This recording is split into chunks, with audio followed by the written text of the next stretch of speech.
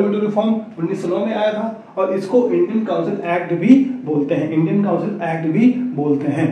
ये जो संवैधानिक विकास चल रहा है, उसी के क्रम में मौल्य मॉडल रिफॉर्म आता है, ताकि भारत के अंदर कुछ संवैधानिक सुधार किया जा सके। इसको दो लोगों ने मिलकर बनाया था। एक का नाम था जॉन मॉडले और एक का नाम था लॉर्ड मिंटो जॉन मॉडले उस टाइम का सेक्रेटरी ऑफ़ द स्टेट था। जॉन मॉडले इस टाइम का सेक्रेटरी ऑफ़ द स्टेट था। और लॉर्ड मिंटो उस टाइम का वायसराय था। तो ये भी सवाल आ सकता है कि मॉडल मिंटो रिफॉर्म किस वायसराय के समय में पास किया गया था? तो लॉर्ड मिंटो। उसके बाद इसके अंदर और भी क्या इंपॉर्टेंट चीज़ हुई? एक तो ये हुआ कि वायसराय का जो कार्य परिषद था कार्यकारी परिषद मतलब एग्जीक्यूटिव काउंसिल वायसराय का अपना खुद का एक एग्जीक्यूटिव काउंसिल था कार्यकारी परिषद था। उसके अंदर पहली बार किसी भारतीय को जगह दी गई as a law member as a law member ठीक है? कानूनी सदस्य के रूप में एक भारतीय मेंबर को जोड़ा गया। वो पहले कौन बने? एसपी सिन्हा। एसपी सिन्हा पहले भारतीय सदस्य बने जो कि कार्यकारी परिषद में जोड़े गए। और मॉडल रिफॉर्म के अंदर ही पृथक निर्वाचन मंडल की व्यवस्था की गई मुस्लिमों के लिए, ठीक है? इसमें था क्या? इसमें था ये कि जो भी मुस्लिम नेता इलेक्शन के अंदर खड़ा होगा, उसको सिर्फ़ मुस्लिम ही वोट दे सकता है, उसको सिर्फ़ मुस्लिम ही वोट दे सकता है। ठीक है? इसीलिए मिंटो को फादर ऑफ़ कम्युनल इलेक्टोरेट बुलाया जाता है। फादर ऑफ़ कम्युनल इलेक्टोरेट बुलाया जाता है। ठीक? अब ये पृथक निर्वाचन मंडल की जो व्यवस्था आई कहाँ से? तो हुआ ऐसा कि 1906 में, अक्टूबर 1906 में शिमला मंत्रिमंडल शिमला मंत्रिमंडल जिसके जो है किसके नेतृत्व में होता है? आगा खान के। आगा खान के नेतृत्व में मुस्लिम बुद्धिजीवी वर्ग जाते हैं मिलते हैं किससे? लॉर्ड मिंटो से। कहाँ पे? शिमला के अंदर। शिमला होती है समर कैपिटल शिमला ग्रीष्मकालीन राजधानी राजधानी होती कि, किसकी? अंग्रेज़ों की। वहाँ जाते हैं मिलते हैं। और वहाँ पे ये बात रखते हैं कि मुस्लिमों का पॉलिटिकल रिप्रेजेंटेशन बहुत कम है। राजनीतिक भागीदारी मुसलमानों की बहुत कम है। उनको उनके लिए अलग व्यवस्था की जाए ताकि उनकी उनको ज़्यादा से ज़्यादा भागीदारी मिले। मिंटो को ये क्लिक कर जाता है कि हम इसको इस्तेमाल कर सकते हैं बाटो और राज करो की नीति में। ठीक है? तो क्या बोलते हैं कि जाके पहले अपनी पार्टी बनाओ। जाके पहले अपनी पार्टी बनाओ और हम इसकी व्यवस्था कर देंगे। ठीक? अब 1906 में, दिसंबर 1906 में मुस्लिम लीग की पार्टी बन जाती है। कौन बनाता है? पार्टी? आगा खान। आगा खान और नवाब सलीमुल्ला पार्टी बना देंगे बांग्लादेश के अंदर। ठीक है? जब पार्टी बन जाएगी तो 1909 में 1909 में पार्लियामेंट रिफॉर्म के अंदर पृथक निर्वाचक मंडल की व्यवस्था कर दी जाएगी। ठीक? उसके बाद और क्या है पार्लियामेंट रिफॉर्म के अंदर? तो केंद्रीय विधान परिषद में सदस्यों की संख्या। केंद्रीय विधान परिषद के अंदर सदस्यों की संख्या सोलह से बढ़ा के कितनी कर दी जाती है? साठ। सोलह से बढ़ा के साठ कर दी जाती है। ठीक है? ये इसलिए कहेंगे निर्वाचित भारतीय की जो संख्या थी वो इसलिए इसकी वृद्धि की जाती है ताकि स्वशासन प्रदान किया जा सके, सीमित limited governance self governance provide किया जा सके लिमिटेड सेल्फ गवर्नेंस सीमित स्वशासन प्रदान किया जा सके भारतीयों को। या विधान परिषद में निर्वाचित भारतीयों की संख्या में वृद्धि करके सीमित स्वशासन प्रदान करने की व्यवस्था की गई।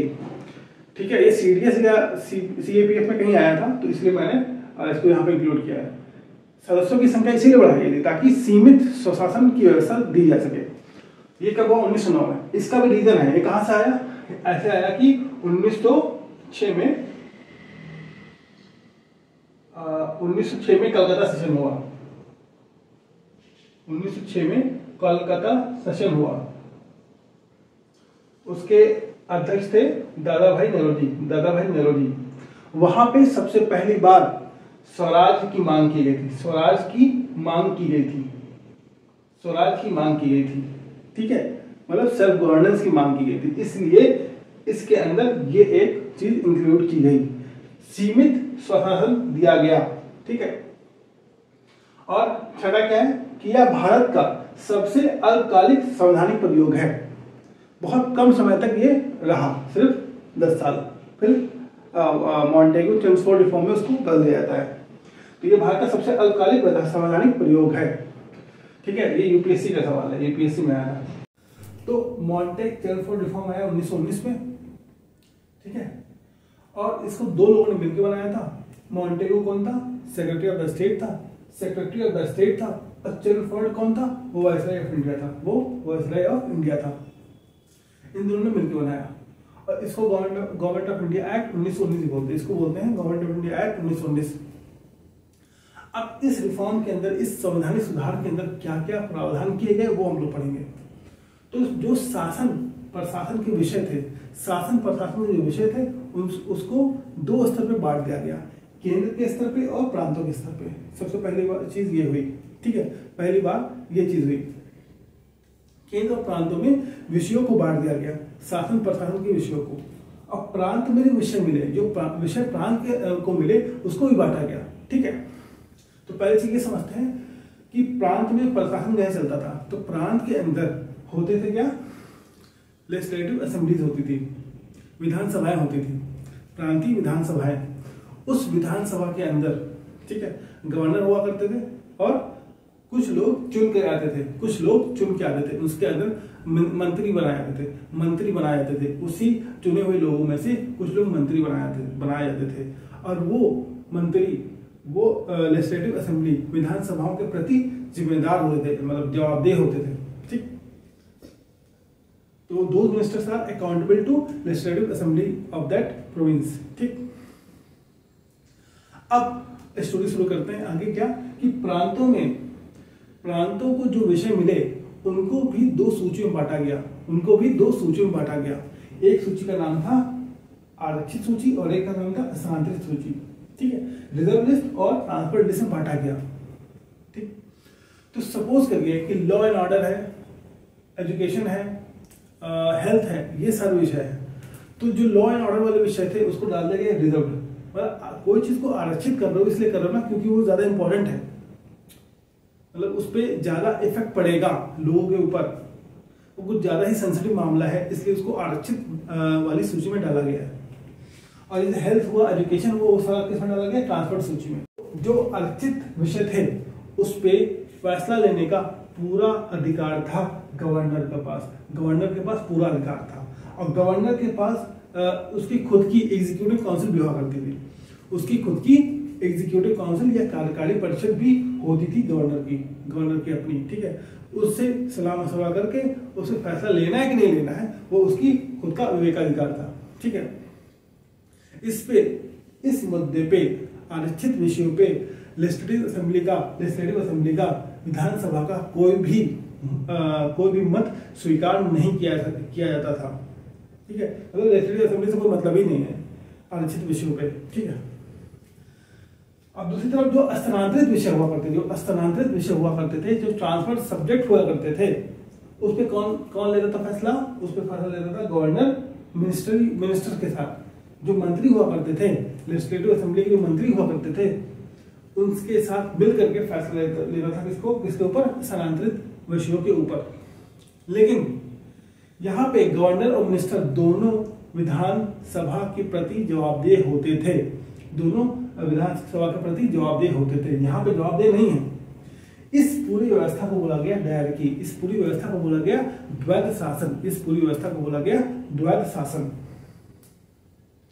अब चौथा पॉइंट है कि केंद्र में पहली बार दो सदनीय विधायिका का प्रावधान किया गया। दो सदनीय विधायिका का प्रावधान किया गया। मतलब बाई कैमरा लेजिस्लेचर आया। बाई कैमरा लेजिस्लेचर आया। बाई कैमरा लेजिस्लेचर आया। जिसको आज किस नाम से जानते हैं? राज्यसभा और लोकसभा। राज्यसभा लोकसभा केंद्र के स्तर पर है ना? तो ये इसी एक्ट से आया है। पहली बार दो सदनीय विधायिका का प्रावधान किया गया। जहाँ पे राज्यसभा और लोकसभा बन के आती है। ठीक है? और यहाँ पे क्या होता है? प्रत्यक्ष चुनाव होता है। यहाँ पे जो सदस्य चुने जाएँगे, उनका प्रत्यक्ष चुनाव होगा। इसके बाद, वायसराय के कार्यकारी परिषद की संख्या जो परिषद की जो संख्या थी, भारतीय सदस्यों की जो संख्या थी, उसको एक से बढ़ाकर तीन कर दिया गया। वायसराय के कार्यकारी परिषद, तीन भारतीय सदस्यों का प्रावधान। अभी हमने पढ़ा 1909 में। 1909 में सिर्फ़ एक सदस्य का प्रावधान किया गया और सबसे पहले कौन बना? कौन सदस्य बना? वायसराय का एसपी सिन्हा, जिनको लीगल मेंबर बोला जाता है, ठीक है? वो लीगल मेंबर बनते हैं। अब तीन भारतीयों को वायसराय एग्जीक्यूटिव काउंसिल का सदस्य बनाया जाता है, तीन भारतीयों को। छठा पॉइंट, पृथक निर्वाचक मंडल को और बढ़ा दिया गया। उन्नीस सौ नौ में खाली मुस्लिमों को दिया गया। ठीक है? पृथक निर्वाचक मंडल, ये मुस्लिम, खाली मुस्लिम को चुनेगा। यहाँ पे उसके एम्बिट को बढ़ा दिया जाता है और लोगों को पृथक निर्वाचक मंडल के तहत लाया जाता है। इसका ट्रिक है याद करने का aces A C E S A for Anglo Indian C for Christian E for European and S for Sikh and S for Sikh aces A for Anglo Indian C for Christian E for European and S for Sikh अब सातवां point कि केंद्रीय लोक सेवा आयोग की स्थापना होती है। इसी एक्ट के तहत, इसी अधिनियम के तहत केंद्रीय लोक सेवा आयोग का स्थापना होगा। केंद्रीय लोक सेवा आयोग का स्थापना होगा।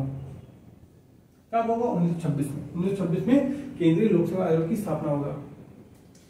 और इसी एक्ट के तहत, इसी अधिनियम के तहत केंद्रीय और प्रांतीय बजटों को भी अलग कर दिया गया। केंद्रीय और प्रांतीय बजटों को भी अलग कर दिया गया। केंद्रीय और प्रांतीय बजटों को भी अलग कर दिया गया। और कुछ लोगों को, अगला पॉइंट है, कुछ लोगों को मतदान का अधिकार दिया गया। कुछ लोगों को मतदान का अधिकार दिया गया राइट टू वोट दिया गया पहली बार इस जो है, इस अधिनियम से। लेकिन बहुत कम लोगों को दिया गया था, लगभग दस परसेंट लोगों को दिया गया था। और देने का क्या था? क्राइटेरिया क्या था? वोट देने का टैक्स था, जो लोग टैक्स दे थे, जो लोग प्रॉपर्टी जिनके पास थी मतलब सिर्फ़ अमीर से उन्हीं को अधिकार दिया गया था इसके ये सवाल बहुत अच्छा आया था। अगला पॉइंट जो है पीसीएस में आया था, कि इसी अधिनियम के तहत चैम्बर्स ऑफ़ प्रिंस बनाए गए थे। इसी अधिनियम के तहत चैम्बर्स ऑफ़ प्रिंस बनाए गए थे, जिसको बोला जाता है नरेंद्र मंडल, जिसको बोला जाता है नरेंद्र मंडल। इसकी स्थापना हुई और इसकी स्थापना किसने की? किंग जॉर्ज फाइव ने की थी। इसकी स्थापना किंग जॉर्ज फाइव ने की थी। इसकी स्थापना किंग जॉर्ज फाइव ने की थी। लेकिन इसका प्रावधान किया गया? इसी एक्ट के तहत। ये नरेंद्र मंदिर था क्या? ये जितने भी राजा महाराजा थे अलग अलग प्रांतों में, और उसके अंदर जो जो राजा महाराजा के बेटे, बेटियाँ हुआ करती थी, उसका पूरा एक ग्रुप था। क्योंकि ये लोग अंग्रेज़ों के वफादार थे। ये लोग अंग्रेज़ों के वफादार थे। और अंग्रेज़ इनके तहत बाटो और राज की की नीति खेलता था, ठीक है? तो क्योंकि पूरी तरह से भक्त है अंग्रेज़ों की इस वजह से इन लोगों को इस्तेमाल करते थे अंग्रेज़ और इसी अधिनियम के तहत, इसी अधिनियम के तहत इंडियन हाई कमीशन की स्थापना हुई इंडियन हाई कमीशन की भी स्थापना हुई इसी एक्ट के तहत, इसी अधिनियम के तहत। Government government of India act उन्नीस सौ उन्नीस के तहत ही इंडियन हाई कमीशन की स्थापना हुई। और एक सवाल और आया था, स्पेस नहीं थी इस वजह से हमने वहाँ लिखा नहीं। गवर्नमेंट ऑफ़ इंडिया एक्ट उन्नीस सौ उन्नीस के तहत जो आखिरी चुनाव हुआ था, इस एक्ट के तहत जो आखिरी चुनाव हुआ था, वो हुआ था किस साल? ये आया था सवाल। वो हुआ था 1945 में। 1945 में जो चुनाव हुआ था, वो गवर्नमेंट ऑफ़ इंडिया एक्ट 1919 के तहत ही हुआ था। ये पूरा गवर्नमेंट ऑफ़ इंडिया एक्ट 1919 हो गया।